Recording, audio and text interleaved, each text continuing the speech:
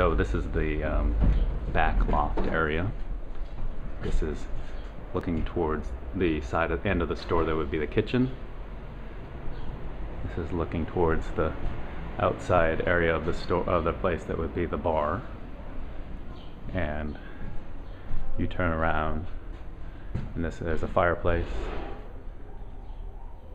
This is the area here where this, most of the seating would be. Walking down these stairs, I'll turn around and photograph it in a second. Again, this is, would be the kitchen area. Oops. This would be the bar area. Outside, turn around, and you can see from here up into the seating area. I'll approach it again.